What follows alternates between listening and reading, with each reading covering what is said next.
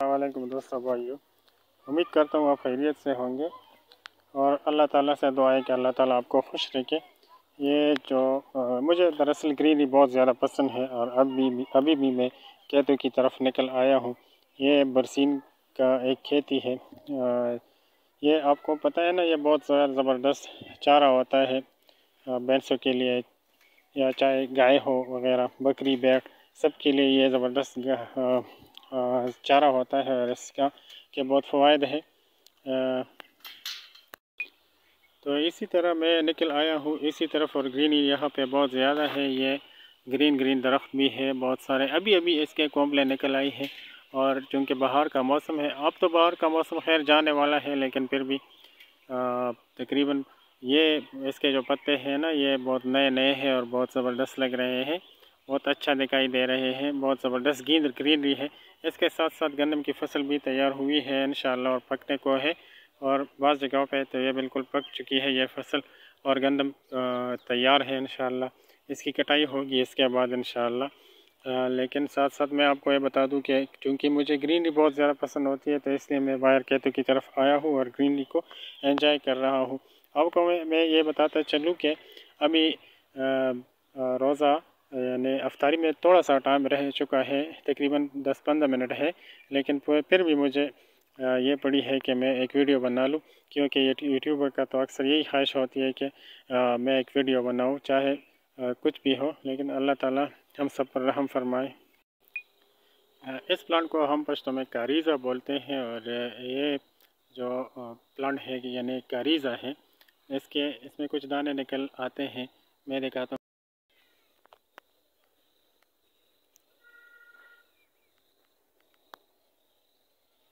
ये छोटे छोटे दाने निकल आते हैं यानी ये इसके बीज होते हैं।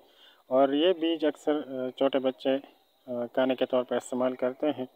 ये बहुत ज़बरदस्त है, हम भी जब छोटे थे तो इसको बहुत इन्जॉय किया है।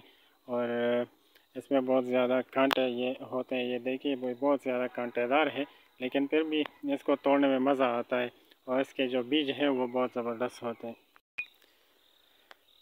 साथ ही साथ आप देखें ये गंदम की गंदम की खेती है और इसमें ये फ़सल बिल्कुल तैयार है इन और गंदम इन बिल्कुल पकने को है, लेकिन थोड़ा सा टाइम इसमें रह चुका है। इन जब ये, जैसे ये पक जाए, मैं इस इन इसका वीडियो भी आपको दिखाऊँगा। और इससे पहले भी मैं आपको वीडियोस में दिखा चुका हूँ जो पिछली वीडियोस हैं, उसमें मैंने आपको ये दिखाया है कि ये गंदम जब बहुत छोटे छोटे थे तो मैंने इसकी वीडियो बनाई थी और ये अब तीन, चार या तकरीबन चार, पाँच महीने ये गुज़र गए हैं। उसके बाद यह फ़सल तैयार हुई है और अल्लाह ताला से दुआ है कि ये फ़सल अच्छी से अच्छी हो जाए।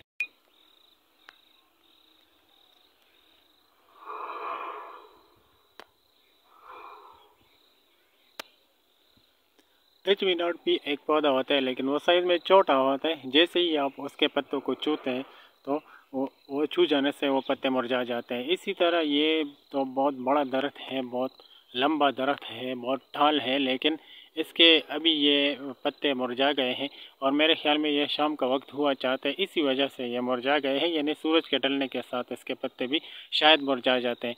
खैर, मुझे इतना इलम नहीं है, अगर आपको इलम हो तो इसके बारे में मुझे कमेंट में बता दीजिएगा ताकि मुझे भी पता चले कि इसके ये पत्ते क्यों मुरझा गए हैं। लेकिन इसकी वजह यह नहीं है कि इसको पानी नहीं मिल रहा है पानी इसको बहुत ज़्यादा मिल रहा है और ये बहुत जगह यहाँ पे बहुत नम है, नमी है यहाँ पे और ये ये जो जगह आपको दिखाई दे रही है, यहाँ से पानी भी गुजरता है तो यहाँ पे पानी की कमी बिल्कुल नहीं है, लेकिन शायद ये इस, ये वजह हो कि सूरज की रोशनी चूँकि अब नहीं है तो इस वजह से ये पत्ते मुरझा गए हैं। अल्लाह ताला बहुत बड़ा है और उसकी कुदरत है ये सारी। अल्लाह ताला यानी इसमें भी अगर कोई चाहे कि इसको किसने बताया, इसमें ये जो दरख्त है, इसको, इसके पत्तों को किसने सिखाया कि जब सूरज डल जाए तो आपने मुरझाना है, मुरझा जाना है। लेकिन ये ख़ुद भी ऑटोमेटिकली ये ऐसा होता है।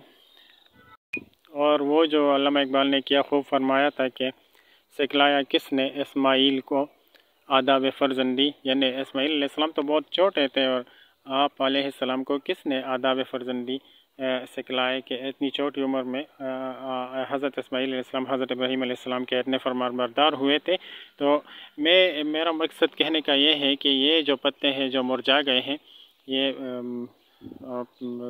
जैसे हम पश्तो में सरीख बोलते हैं, उर्दू में मुझे इसका नाम नहीं आता है, अगर आपको आता है तो सरीख का, यानी सरीख, हम पश्तो में बोलते हैं, उर्दू में इसको जो भी नाम पुकारा जाता है शायद आप मुझे बतला सके कमेंट में, बल्कि आपके आपके पास बहुत ज़्यादा इलम है, मेरे से ज़्यादा है, बहुत ज़्यादा।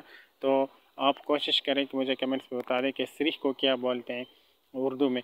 तो यही सरीख के जो पाड़े हैं, ये पत्ते हैं, ये मुरझा गए हैं और ये सारा कुछ, ये सारा सिस्टम अल्लाह ताला ने इसमें बैठाया है कि तुमने ऐसा ऐसा, ऐसे ऐसे करना है, ऐसे ऐसे वक्त में। बादल बहुत ज़बरदस्त है और कभी कहीं पे काल, काला बादल है, कहीं पे सफ़ेद है और इसका भी बरसने को जी चाह रहा है। इसी तरह कल भी बारिश हुई थी और मौसम बहुत माशाल्लाह ज़बरदस्त बन गया है, बहुत ठंडा है। बहुत ठंडा तो नहीं है, लेकिन गर्मी नहीं है, शुक्र है, अल्हम्दुलिल्लाह। और इससे पहले, दो तीन दिन पहले गर्मी पड़ गई थी तो अल्लाह ताला ने फिर बारिश बरसाई और मौसम को बहुत ज़्यादा अच्छा किया, बहुत ज़्यादा ज़बरदस्त किया।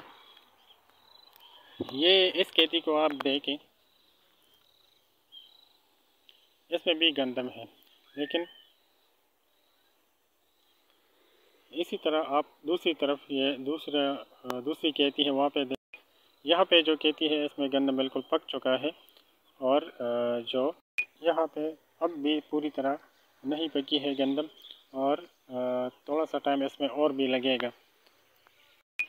साथ साथ आप इन फ्लाइंग बर्ड्स को देखें, ये जो परिंदे हैं, शाम का वक्त है और अभी अभी ये गोनसों की तरफ़ जा रहे हैं तो बहुत ज़बरदस्त व्यू पेश कर रहे हैं।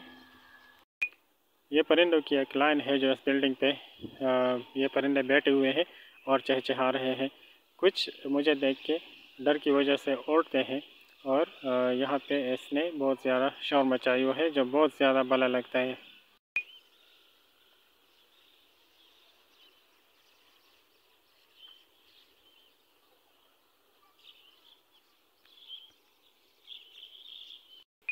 यहाँ से बहुत दूर पहाड़ियाँ भी नज़र आ रही है और यहाँ जो पहाड़ियाँ हैं यहाँ से आगे चलकर आप आ, का एरिया शुरू हो जाएगा मुनैर और स्वाद का।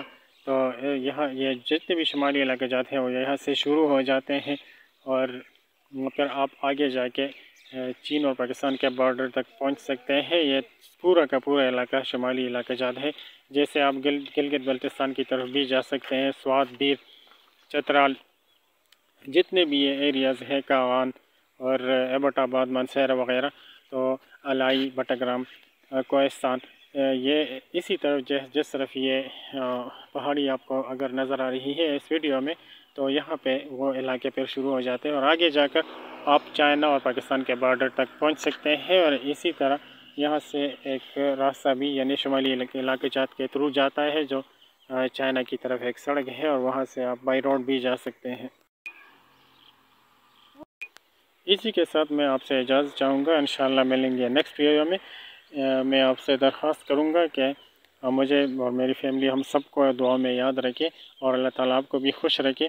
इसी तरह मेरी एक रिक्वेस्ट और भी है कि मेरी वीडियो को लाइक करें सब और चैनल को सब्सक्राइब करें और शेयर भी कीजिएगा ताकि मुझे भी इससे फ़ायदा हो और आपको भी जो लोग ग्रीनरी के शौकीन हो, उनको इस तरह की ग्रीनरी के बारे में वीडियोस आपको मिलेंगी। और जो मौसम है, आप इंशाल्लाह इस वीडियो से मौसम को भी इंजॉय कर सकते हैं। और ये जो बर्ड्स फ्लाइंग है, इसको भी आप इंजॉय कर सकते हैं। बहुत शुक्रिया आपका। अल्लाह आपको खुश रखे। अल्लाह हाफिज़।